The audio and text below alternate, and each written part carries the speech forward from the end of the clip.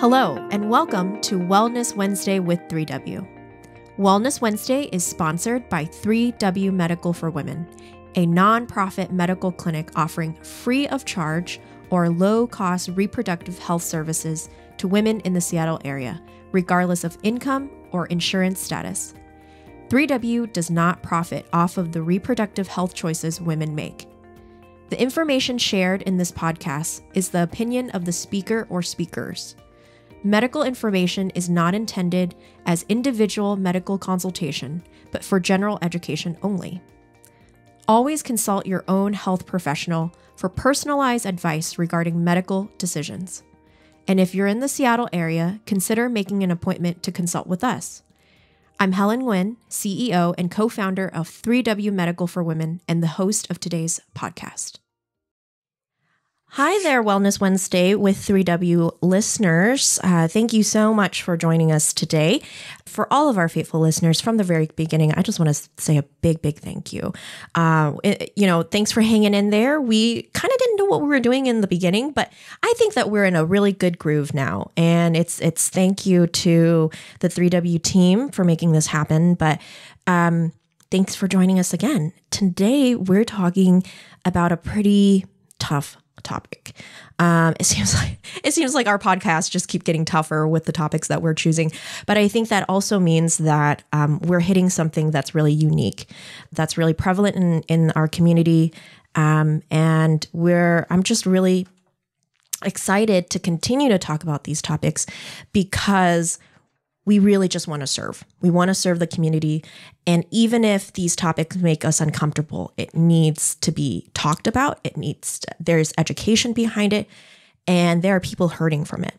So today's topic is the prevalence of women in their sexual addiction to pornography. And I have with me a, a wonderful uh, uh, young woman. Um, I can say that now, now that I'm in my 30s. Um, her name is Rachel Kalaki, and she is going to share her story and her journey with addiction to pornography and the effects that it had on her life. We're gonna we're gonna walk through some stats that are pretty alarming. Um, this is not in any way to shame or judge or put anyone down if you're engaging in pornography right now. That this is not that type of podcast. It's not that type of conversation. This is Rachel sharing her story and her vulnerability and putting herself out there because uh, Rachel and I were talking before this, and it's such a shameful, silent kind of addiction, especially mm-hmm. for women. And it's just, I just feel like it's time to open wide this this door and talk about it really candidly. Um, because with any type of addiction or type of engagement uh, like this, there are pros and cons to it. So I just wanted to highlight this because we've been observing more and more patients come through our doors with these types of questions, sharing with our medical providers, which I'm so grateful for. Thank you for doing that and trusting us with this. Um, but sharing with our medical providers their engagement in pornography and how it is affecting women physically. It's not just a mm-hmm. mental thing. Uh, it's a it's a physical thing. It's a spiritual thing. So um, so here's Rachel and I just I'm just so um, grateful to be connected to her. So, Rachel, I'm gonna just get started. So, for you, when did when did it start for you? When did you get exposed to pornography? It was a pretty young age, I believe, correct? Yeah. So um, I had some unwanted experiences from my childhood that mm-hmm. kind of already kind of piqued my curiosity and made me desire a sense of control when it mm-hmm. came to sexuality. Um, and I think that's often the case too. I know with the women I work with, that's that's a large, large percentage is um, women seeking pornography as a way to kind of reconcile with some experiences that happened to them as children that they didn't want. Um, so I was first exposed to pornography at 13. Um, wow. And it was actually written, it was erotica. So it was, um, which I think is important to define because a lot of women actually find themselves uh, first addicted to written pornography Mm-hmm. um, and then progressing into possibly watching. But I was first exposed at 13 and struggled heavily from ages 13 to about 19. So about five and a half Wow. years total. So that was eighth grade to my first year of college. Wow. basically. Wow. I see that's something so eye opening for me. I didn't even consider uh, erotic literature as porn. Yeah. And I think it's interesting because a lot of people don't, but pornography, by definition, is the extraction and portrayal of a sexual act for the sake of entertainment and arousal. Wow. right? When you think about that, uh, that can be written, that can be visual, that can be just an image, Yeah. um, that can be a video. You know, that can be multiple. It can be audio. There's audio as well, Mhm. um, solely audio. So I think it comes in many different forms, and we have to be honest about all the forms that are out there. Yeah. Yeah. Wow. Yeah. I didn't even consider that. God, it makes me think back of the things that I've read in my Right, Teen. right. It's everywhere. yeah and it's just like Yeah. okay all right so um i you know to prepare for our conversation today i i just did some quick google searches uh and i ran Yes. across uh oh google um and i ran Yeah. across the american addiction center Mhm. and they had like a whole i want to like pages dedicated to women and their addiction to porn. And um, it, it, it said 76% of females between the ages of 18 to 30 years old watch pornographic material. Yeah. do you you know with the work that you do with women around our country is that is that true? Is that the kind of the age range that you're seeing Yes, a, a high concentration of our women are in that 18 to 30 age range. I was actually telling somebody that earlier. That's a huge, um, a huge part of our work. Um, but I think, I mean, my youngest small group member is 17 and my oldest is 71. wow Like we, we have women who are married. We have women who are single. We have women who are teenagers. Mhm. Um, obviously working with minors in this topic is a little bit different, but Mhm. we have women who are in their 60s and 70s and have seen the evolution of the pornography industry yeah and have not been able to get help. And Mhm. so I, I think we have this wide age range, but we're seeing a massive, massive um, incoming from that 18 to 30 range for sure. wow So yeah I agree with that. It's a it's a staggering statistic. It really yeah it kind of like you know made me back up and go whoa that that's a Mhm. big that's a big number and the and you know we we also have to consider these are just reported numbers you know they Right, they're not right. capturing people that are not comfortable sharing that kind of stuff so it could even be higher It can, yeah, and it could mean it could mean you watched it once. It could mean you're an Mhm. addict watching frequently. Um, Mhm. It can mean all sorts of things, but it also makes you wonder why Mm-hmm. People don't think this is a thing for women. When you see statistics like that, you're Mhm. like, how on earth? And I joke around that that at parties, like you know, when you have the regular conversation, you're holding the beer and you're like, oh, what do you do for work? And I'm Mhm. like, oh, I help women recover from porn addiction. What do you do? You know, it's like people either run away from me or or like have a lot of questions. You know, um, Yeah. but more often than not, I get that like, oh, nice. I didn't know women struggled with that. oh you know, it's like a very yeah you know, there's a very limited understanding of of um, absolutely of that. So statistics like that, you wonder why. You know, Yeah, and it wasn't kind of on my radar. I always thought it was a guy's issue, and it wasn't Sure, yeah. on my radar or even my staff's radar until recently, until we are seeing the effects of it the uh, on our predominantly female population of women that we serve. Um, th- It just kept coming up in conversation, and um, you know, because we we give an hour of an appointment, we're not just treating the issue that they come in with. That Sure, we we're yeah. able to peel back and say, okay, what's what's the bigger issue here? Um, what's the con- motivator? yeah, that contributes to now a physical um, disease or a, a physical issue. So for you, Rachel, y- you know, you said you it started at a very uh, young age. Now, Mhm. how did it progress for you? You you started l- reading literature, but did it start now going on like Pornhub or something? Like where? Yeah. Where so did it I go? actually, I never. I and this is part of why I struggled to admit that I was addicted is because I never accessed a porn site. Ever. Mm, It was all on YouTube or other video streaming sites. wow. I'm not kidding. Yeah, it, and the age restrictions on YouTube are so easy to bypass. Oh yeah. Um, but it was all there. There's there's deeply harmful and pornographic content on just Mhm. regular old social Mhm. media platforms. Mhm. I have friends who would get um, software that could block pornographic sites on their computers, and their addictions would continue because um, they could access it through Twitter and Mhm. Facebook.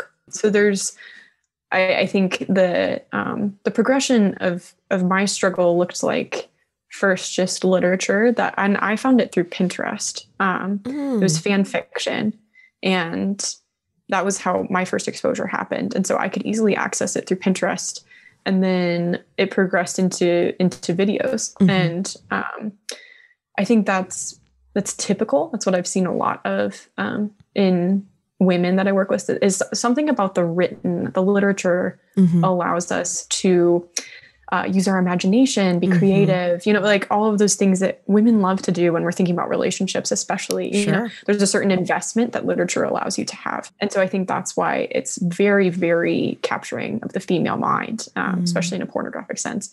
But yes, I did progress to videos. Mhm. Um, and yeah, again, accessed it without ever touching a porn site. Which is really horrifying, but that Wow. that's what made me think, oh, you know, I'm not actually struggling, is because I wasn't I wasn't on the regular sites. Yeah. When did you realize that it was a problem? I think, you know, it was gradual for sure. Um, I remember being a sophomore in high school and having this massive argument with a guy in my class on Mhm. whether or not porn was ethical. Mhm. And I, you know, had a moral argument with this guy. And I remember being so angry and and recognizing afterward, like where where's my anger coming from? And Mhm. that I was, in a sense, directed towards myself. Um, and it took me a few years to kind of grasp that. I think when I really saw um, how detrimental it was is when I recognized that like lust doesn't have boundaries. It doesn't. Mm. Um, it doesn't respect the fact that somebody's your friend or your friend's boyfriend or somebody's father Mhm. or your sister. You know, it doesn't. It doesn't respect like boundaries. It doesn't Mhm. respect um, the relationships you're establishing. Mhm. And so I really recognized it was a problem when first I wanted to stop and I couldn't, which is characteristic of addiction. And second, when I became very, very uncomfortable with the thoughts I was having and the people I was having them about. Um, it was Mm. affecting how I perceived men in particular because, um, you know, my my attractions are to the opposite sex, and so I, Mhm. that was where my lust was primarily directed Mhm. and yeah I, I became so saddened by the way i was objectifying men Mhm. um, and the way i was perceiving my own sexuality and that's when i really recognized okay this is a problem i can't Mhm. quit and it's it's to my detriment that i can't quit you know Yeah. Yeah.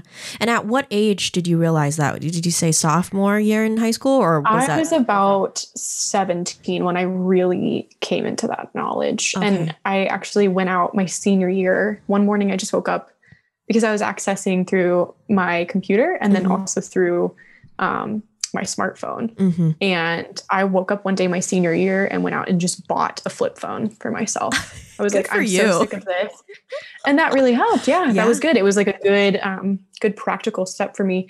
But yeah, I think the technology obviously gives us so much more exposure and Mhm. internet pornography is, is Mhm. pretty rampant. But um, yeah, I, because before that I was using, before I had my own computer, I was, I was homeschooled, right? Was a homeschooled Mm. Catholic kid. So when I hear from parents, yeah, when I hear from parents like, "Oh, it would never be my kid. I homeschool my kids." I'm like, "Y'all, let's let's have a real moment here." yeah, if if there is any sort of computer or phone, like smartphone in your home, Right. it's a risk. Yeah. it's a risk. And um, so I think, yeah, before that, I was using like a family laptop that I Yeah. shared with my siblings for homeschooling, Yeah. and then I got my own laptop. Um, and do people even call them laptops anymore? I'm They saying do. laptop and realizing I'm like, is that a thing? You know, I don't know. But- You're in your 20s. You tell me. I, yeah, no, I, I was homeschooled, right? I don't know Yeah. anything. Um, but I yeah, so I was using a family laptop, and then Yeah. I um, got my own and got a smartphone at 16. You know, that was when the iPhone was really hitting, and Mhm. um, yeah. So I, I think we have to be honest about our technology use Mhm. too. That's I'm Mhm. kind of bridging into a whole different rant, but I think that's um, I was about 17 when I really came to grips and started to push back. That was Yeah. when I really really started. Did people in your life know that you were No. struggling with this or did No. you ever I- try to bring it up with folks and they just didn't get it because there was this stereotype that you're a homeschool kid so Yeah. it doesn't affect you Yeah, and I wasn't I wasn't homeschooled at that point, but it was not, you know, I, I think this is the case for a lot of faith-based upbringings, right? Mm. It was very much like there was a lot of influence from purity culture Mhm. of I would go to youth conferences or retreats and Mm-hmm. we would be separated. The guys would get the porn talk, the girls would get a modesty talk, wow right? hmm or an emotional purity talk right and so i think there was there was this mindset to me of i'm struggling with a male struggle Mm. like i there's no context for me um, to place this in these experiences and Mhm. um, yeah the, this struggle basically or this attraction that i have to this thing that i, I really don't want in my life and hmm um, and that's having a negative effect on me. So I Mm. I didn't feel like I could really Mm. say anything, and I didn't. Um, nobody was starting that conversation, and Yeah. So my I mean my parents spoke about it, but primarily as a male struggle because that's what they understood, and um, they did the best they could. And I have a really you know wonderful family and loving parents, and so they in no Mhm. way created um, or intentionally created shame or anything around this, but hmm I did end up telling my best friend in high school when I was a Mm, senior, mhm. and um, her response was extremely loving and Oh, um, very merciful. And she had never really struggled with that herself, but Mhm. she just responded with such, yeah, just such compassion, and that really gave me courage to share in the future. Um, Mm. I have too many women who come to me just so damaged from people's reactions when they Mhm. finally try to share. It can be incredibly shaming. And Yeah. if they get rejected on that first share, it can be really damaging in the long run. Yeah, I can. I mean, I can just imagine that. That's such a. a- Again, it's it's just uh, it's being portrayed as such a male-driven issue, um, Mhm. and that's why it's so important that we're having this conversation right now. And so uh, that kind of ties into the next next question I had was like, what are some misconceptions about women in pornography use? Like, what what are some things Mm. that we can break? Let's break these stereotypes right now. What what would you suggest first? Well, I think it comes first from a conception that women are not as sexual as men, Mm-hmm. Right? Which was a cultural thing. That was that was just kind of um, which number one, it leads us to treat men like animals, which I don't think is fair either. And that's that's unhealthy on both ends. Right. Um, but I think whether just in culture at large or in certain church cultures, hmm the language became, you know, men are the sexual beings and women are the gatekeepers. Mm. Um, women That's a don't lot of struggle. pressure. It's so much pressure, right? like, why did we do this? You I know. What What are we doing? Yeah. So I think, um, I think it just created. Yeah. I mean, it came from this creation of um, women not experiencing sexual desire very Mhm. prominently, which Mhm. I don't think it's that we experience it less than men. It's that we experience it differently. Mhm. Experience it differently. Mhm. Um, we are just as sexual as men, and we just experience it in a uniquely feminine way, and Mhm. you know, in a way that only women can. Mhm. So I think a lot of misconceptions about women's pornography use comes from that. Um, Mm-hmm. That um, why would why would women ever even seek this out if they're not even sexual to begin with? Yeah. Yeah. Hmm. So, how does pornography lead to issues with masturbation? Yeah. So, and it's interesting for me because I work obviously with, you know, um, dozens of, and dozens of women at this point um, where masturbation is actually the primary issue for them and not Wow. even pornography consumption. Okay. Um, they're they're addicted to self pleasure, Mhm. um, and sometimes there are several different avenues that can lead there. Obviously, pornography um, lends itself to desiring arousal and desiring completion, right, and Mhm. the release. And um, I never, I never had too much accompaniment of my addiction to pornography with masturbation. I Mhm. that was not where my struggle was primarily. Mhm. But I have women who are solely addicted to that Mm. um, that I work with, and it can be sought out of stress and like a desire to self-regulate emotion or self-regulate stress. Um, it can be just a desire for pleasure. It can be multiple things, but pornography typically um, will escalate to the point of accompanying Mhm. um, with masturbation, and Mm. and it's just it's because of the nature of the thing. Yeah. And and Rachel for for our listeners out there, you know, Rachel runs this amazing ministry actually. Um Mhm. and and Rachel, can you talk a little bit more about that because then it can give folks a little bit more context of you know what you're talking about, not just because you've gone through it yourself. I'm sorry, folks. I should have started with that. But like, um, who's this lady? yeah. Is And how does she kid? know all these Yeah. things? Yeah. Um, but yeah, can Uh, you yeah. can you just give us like a quick nutshell of like how many people are you how many women are you working with on a daily Yeah. basis and Mhm. i'm sure it's helping you heal um Mhm. as well as these women but i i just think it's a fantastic model um Thank you. Yeah Thank you. I appreciate that. Um, yeah, so I run an organization called Magdala, and it is focused on helping women um, and accompanying women in their journey to recover from pornography, masturbation, and other unwanted sexual addictive behaviors. Mhm. Um, so we run virtual small groups Mhm. and with a curric- or a curriculum that um, we've developed. Mhm. And so we're not a 12 step group. We're not like sex, um, sex addicts anonymous Mhm. um, or something like that. Um, we are kind of our own thing, which Mm-hmm. is, which is nice. Um, but yeah, we're faith based. So um, we're Catholic, but Mhm. um, I get, I get women from all different faith backgrounds, which has just been a joy. And Mhm. yeah, so we run primarily our small groups and we have over 30 in operation now. Um, we started last March, so March of 2021 um, is when I got like a little kick to the pants to go ahead and start it from somebody um, who you know is very trusted in the um, anti-porn kind of industry, and um, he was like, "This is such a need, and you Mhm. have a story, and you have a passion for this, and you need to go ahead and do it." Mhm. And I was like, okay. I, you know, went on Squarespace and designed a website and was like, I'll do a blog and podcast and start virtual small groups. And, Yeah. I had run, I had run an in-person recovery group at my university Mm. when I was about a year or two into my own recovery Mhm. um, or into sobriety. And Mhm. so I felt like I was in a solid place and just the conversation was not happening for women. So I Mhm. started an in-person recovery group and ran that for a year. And then um, went into full-time ministry work after getting my master's. And then, yeah, now, um, now I do this and it's a That's joy, but amazing. amazing. we have, I think last week we hit over 400 women reaching out for help. So that doesn't mean they're placed in a small group, but over 400. I, I get probably seven to 10, sometimes a dozen reaching out a week.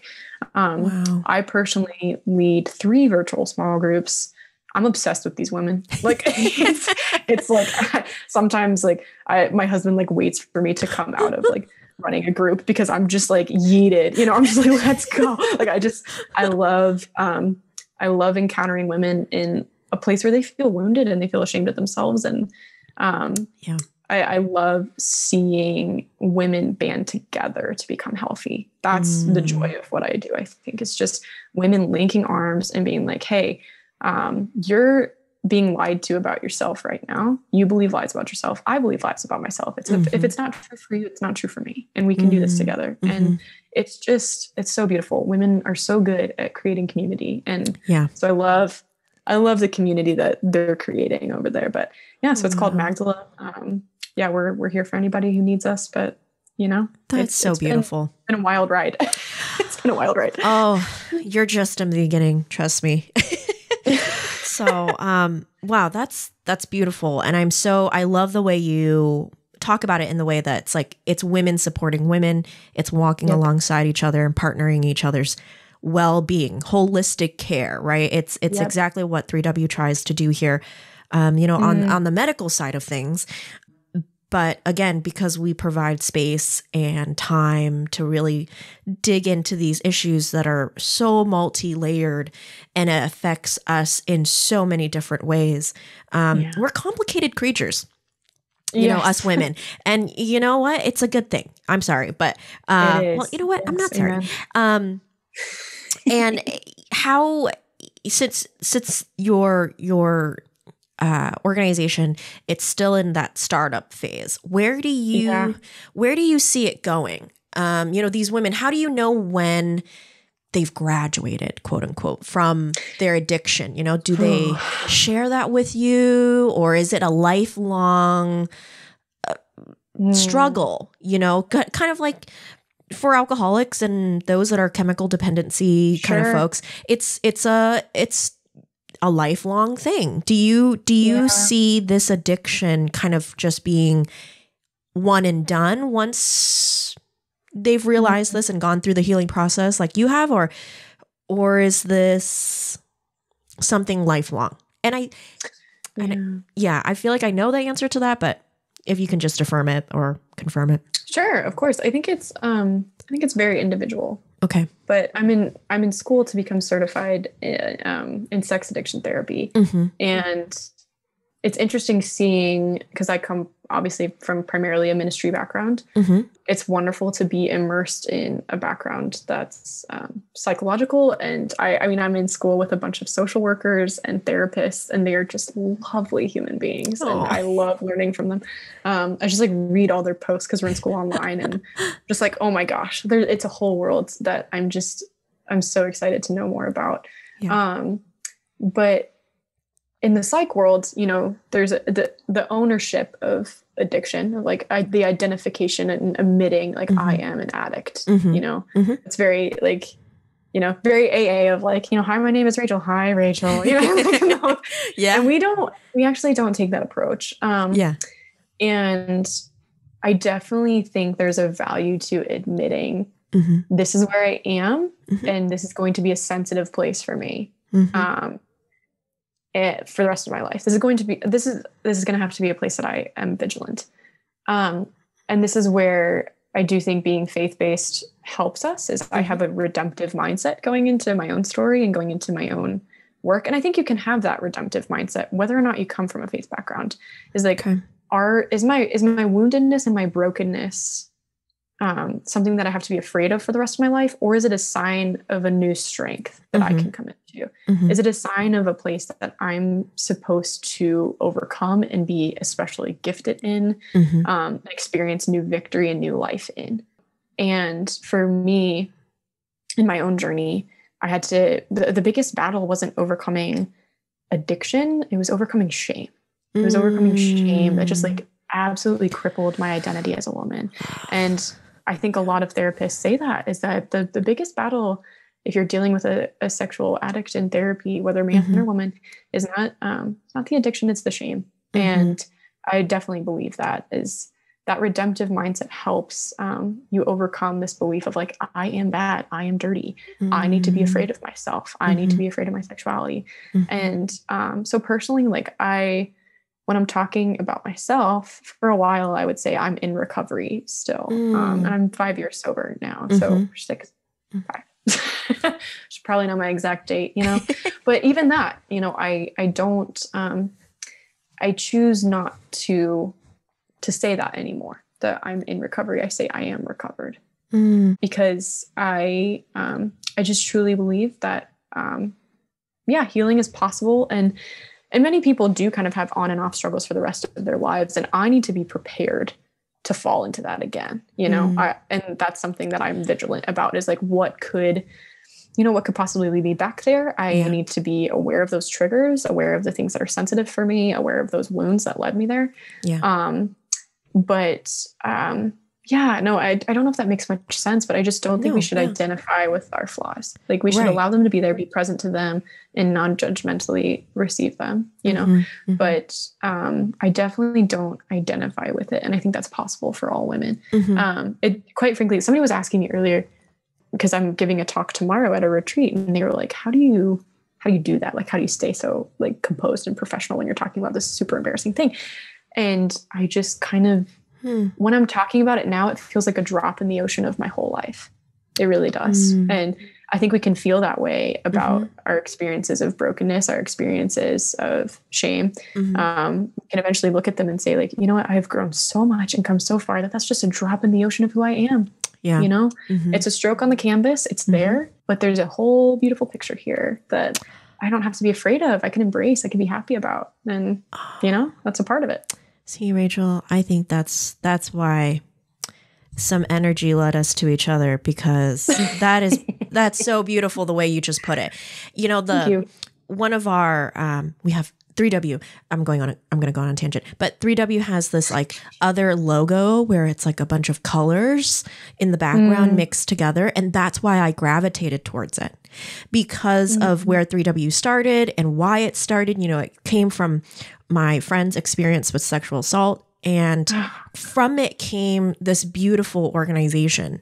And I gravitated towards this this this mix of colors because just like what you said, it's like you think it's like a ruined picture or something. You think it's um Yeah. you think it's like a messy thing, but when you step back and take a look at it, it's something really beautiful. And there's there's beauty in the messiness and the the story and the journey that we all travel through um, Yes. to become the person we're meant to be. And sometimes we just won't learn those lessons until we go through those really hard parts and issues in our lives. Um, so thank you for um, affirming that and um, Yeah. seeing the beauty in the mess. Because Yeah, we're all absolutely. broken, right? We're all broken in some Oh. ways or another. Oh gosh, I think that's one thing that I I just I love my job because, um yeah, I would love to be paid full time for my job, but I love my job. I think yeah. that you know, there's that the startup life, you know. Yes. Um, but Yeah. I think there's, yeah, there's something about working um, in. I think you could probably say the same in reproductive health or sexuality. You know, Mhm. sexual issues. It's Mhm. like this is this is such a tender place for people. This is such a Mhm. tender place for women. You know, Yeah. such a tender place. Yep. Um, and walking with people in their brokenness in this area, it has just humbled me so much and just Mm. seeing like man don't we all just have our crap you know like don't yes. we all like this is Yes. just not and looking looking at other human beings that Mhm. perhaps could be labeled unjustly you know in other Mm-hmm. circles and just being like oh man that's my sister that's I, I see myself in her like you got your stuff i got mine let's do this together and i think it just working with sexual issues just it really it really creates um, Yeah. this this new vision of accompaniment of like Yeah. what it actually means to walk alongside a person and Yeah. I, love that about it and the importance of community and the importance of Mhm. like uh, one of the new phrases that we like to say around here is we want to be a girlfriend in your medical care and that's that, that's that's very much what you just said it's like how can i support you from another person that identifies very much with what you're going through and you're not alone. You're not alone and it can be really scary and shameful um, but there is a light at the end of the tunnel and just keep Yeah. going keep going keep keep Yeah. healing and keep reaching out to beautiful um, organizations like yours for support. So just thank you for what you do rachel. Um, oh thank you oh thank you you know i i, it's I all fun yeah, I know. I know what you mean. My um I just had a a quick meeting with a a donor, a very generous donor yesterday and they're like, "You are always so busy." And I was like, "Ah, I love it." it's so much fun. It's so much fun. I get to do this. I get to talk to folks like you. And I knew this was going to be a two-part podcast. So I I, I I'm going to wrap this one up really quick. Uh, and we're, we're going to have Rachel back because we can dive really deep into this. And there's a couple of other questions and a couple of other things I want to peel back with Rachel. But for today, I, I just thank you so much. Thank you for being vulnerable with us. Thank you for sharing your story. of course Thank you for being having me awesome and beautiful and helping the women that you do um, thank you walk this through this really vulnerable time in their in their life. So thank you so much for what you do. thank you thank you for having me Yeah. All right, listeners, uh, tune in again for the second part about this uh, really tough topic to talk about. Um, it gets me choked up sometimes, but um, thank you for listening. Thank you for being vulnerable with us. And um, till next time. For more information about 3W, please visit our website at 3wmedical.org. That's the number three, the letter W, medical.org. From there, you can learn more information about the services we provide, book an appointment, or make a donation if you'd like to support our mission. You can also call our office at 206 588 0311. That's 206 588 0311. If you like this episode, please share it with others and consider subscribing on your favorite podcast platform so you never miss an episode. Thank you so much for listening, and until next time, stay healthy and be well.